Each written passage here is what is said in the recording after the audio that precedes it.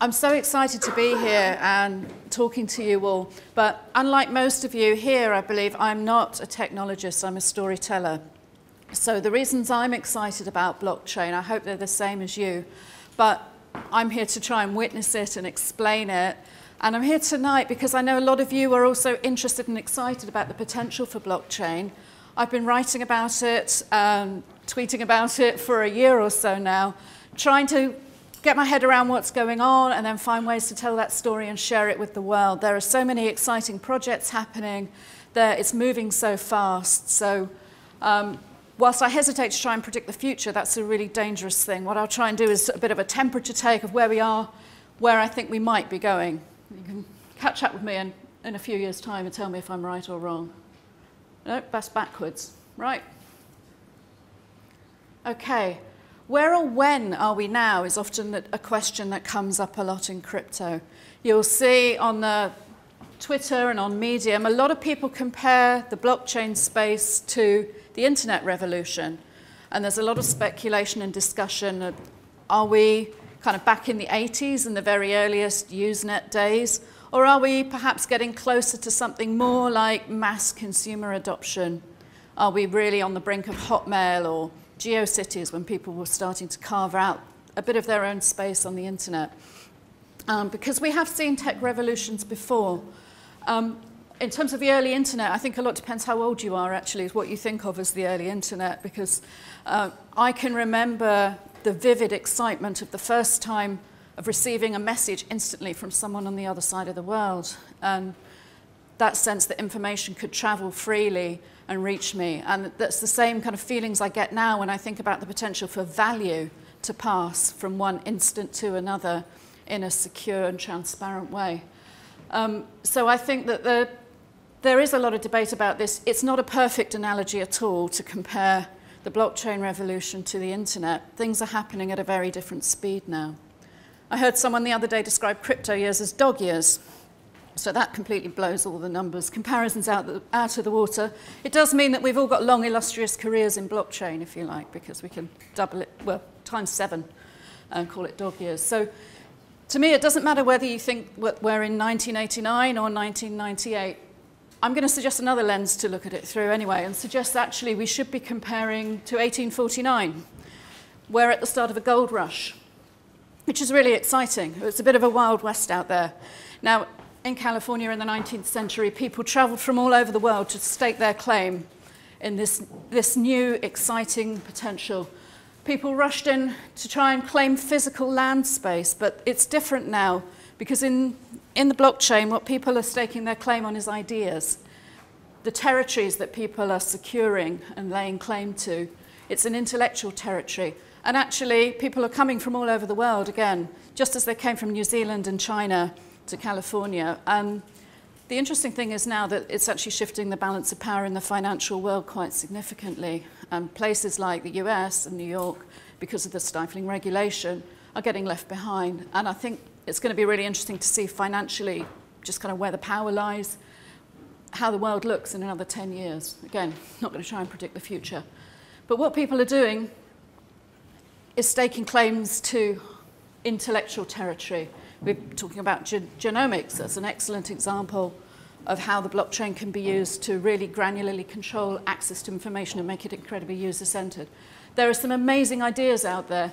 People coming in and think, basically, people want to build the blockchain of, or build X on the blockchain. Some of the ideas that come to us as a marketing agency um, some of them are absolutely fantastic, some of them become clients, some of them are a little bonkers, some of them are completely off the wall, and I can't even talk about them because they often go on to actually launch anyway, whether we have anything to do with them or not. There are things that are now happening on the blockchain that, whether they actually need a blockchain or not, I don't know. So this is what I'm saying. But it's happening, it's where everybody wants to be. It is a gold rush, and there's a tremendous sense of energy about it, and people are hurrying to the scene. Now, when revolution, when action gets ahead of, of maybe some of the regulation, maybe the technology speeds ahead of everything else, there are risks. And Natalie introduced us at the very beginning to the idea that you have to be self-sovereign, you have to protect your assets. And I would say if you're thinking about investing and dabbling in some of the more speculative projects, you really have to be aware that there is potential great reward, yes, but great risks, and you are on your own with it. There is no blockchain help desk you can ring up if you mess up. Uh, there are bad actors. There are some incredibly exciting and interesting projects, but they're having to make their way in a really brave new world, staking their claims out there in the gold rush territory. There are bad projects, frankly. There are things that are outright scams from the beginning, but there are some incredibly solid projects that then get infiltrated in their communities. There are people, um, Natalie was talking about bots passing off as different accounts, people trying to get you to send, send your private keys to them, to do all sorts of things. So because it's so exciting and because the potential is so huge, basically I think in my time working in the industry, I've seen the best and worst of human nature um, the best and worst of ideas. So you really, really have to watch your back. There might not be actual guns out there. Um, people are staking their claims by marketing and good fundraising. But there are very real dangers out there that you have to protect yourself against. And the reason for that is there's gold, great piles of it.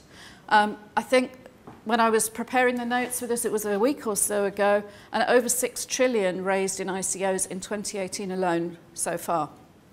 That's already exceeded the total for 2017. So anyone who says that initial coin offerings are over, it isn't yet. The money is still pouring in.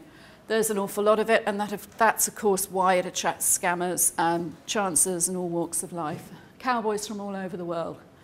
Um, in amongst all of that, who's actually finding the gold and getting rich? Well, there are some very sound businesses and projects. It, it is an incredibly fast-moving space, and it's easy to forget that things we now see as very established within the industry, within the cryptocurrency ecosystem, started off as ICOs, Ethereum, Dash. These are currencies that we now trade and interact with daily. They all started as token sales. Um, EOS, raising all their billions earlier this year. I suppose the jury's still out on that one. But there are a number of successful businesses who have managed to raise their money, have managed to launch a business properly and run it. Um, the statistics for any new business aren't great. I, know, I think it's something like less than 10% are going to survive and be profitable. You do have to be extremely careful, but there are success stories already. Um, there are less successful outcomes going on in this wild west of the blockchain world. There are people who manage to raise a lot of money and then blow it. There are people who have fantastic ideas for these amazing niche solutions that are genuine needs, but then they actually don't know how to build a business. They might know how to build a blockchain, but they might not know how to deliver the solution.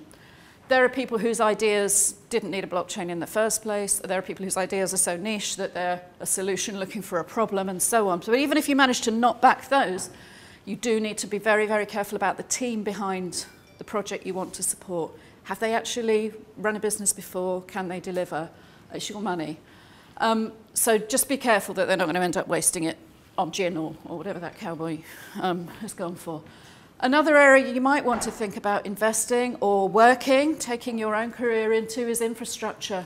Now, to me, this is where it gets really exciting because there are all these tokens, but we're actually building a whole new world there with this, this revolution.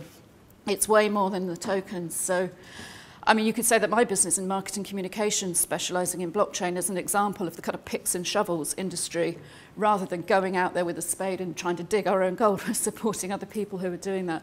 And within cryptocurrency, there are so many different possibilities of infrastructure. And I'd see that's where things are exploding in 2018, particularly.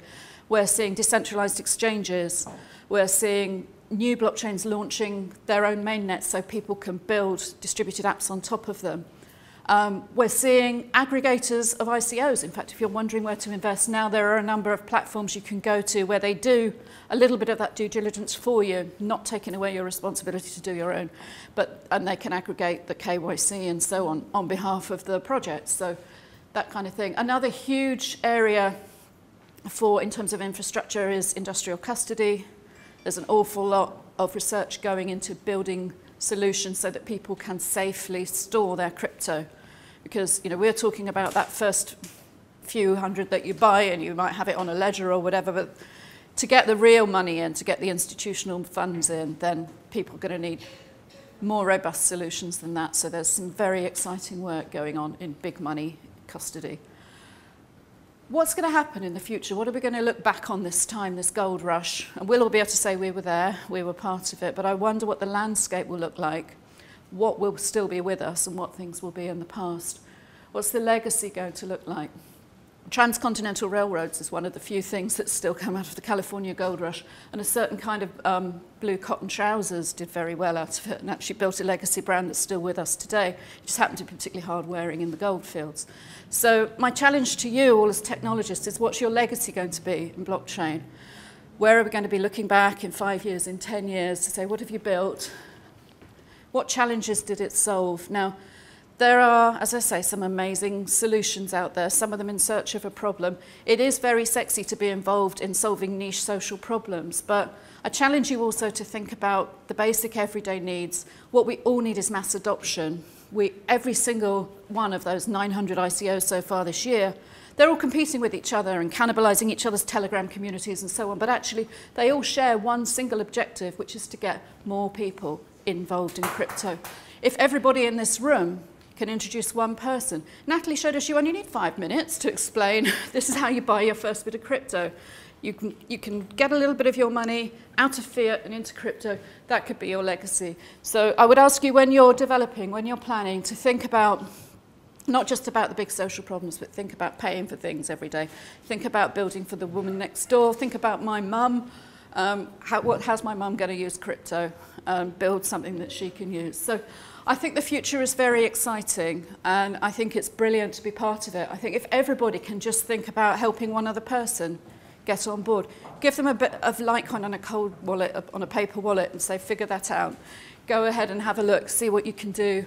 Get yourself involved, get into crypto, each one teach one, and that's how we'll support all of our projects and everybody's careers and we really will change the world. So we're all part of the revolution. Thank you very much.